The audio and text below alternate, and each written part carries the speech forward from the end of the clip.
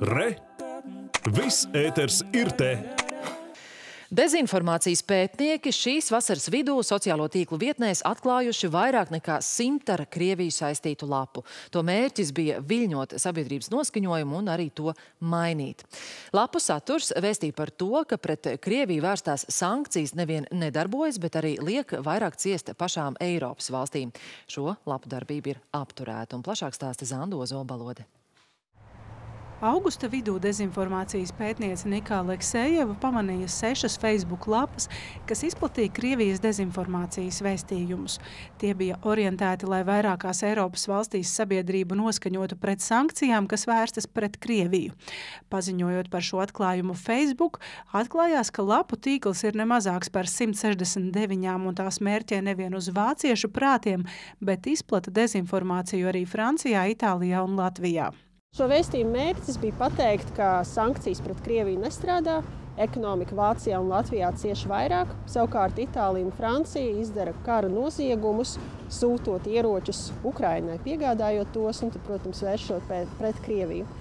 Bija arī citi vēstījumi saistībā ar elektroenerģijas cenām, ka lūk, Baltija pārmaksā daudz vairāk nekā teiksim, Zviedrija vai Dānija.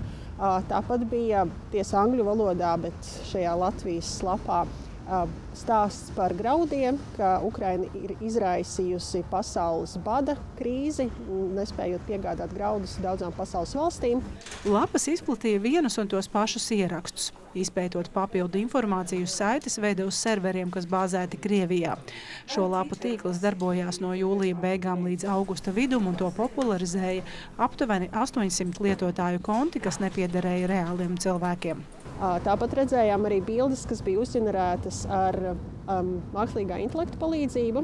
Tātad to mēs varējām noteikt pēc tā, ka vienmēr acu pozīcijas šīm bildēm bija vienā vietā, jo tas ir veids, kā šis mākslīgais intelekts zīmē šādus cilvēkus. Vēstījumu popularizēšanai tika pirktas sociālo tīklu reklāmas.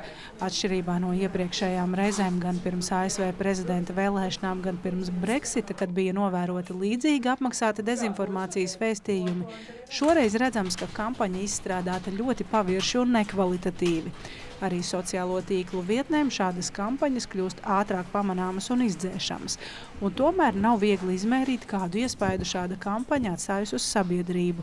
Zando Zombalodolavs Perševits, Latvijas televīzija.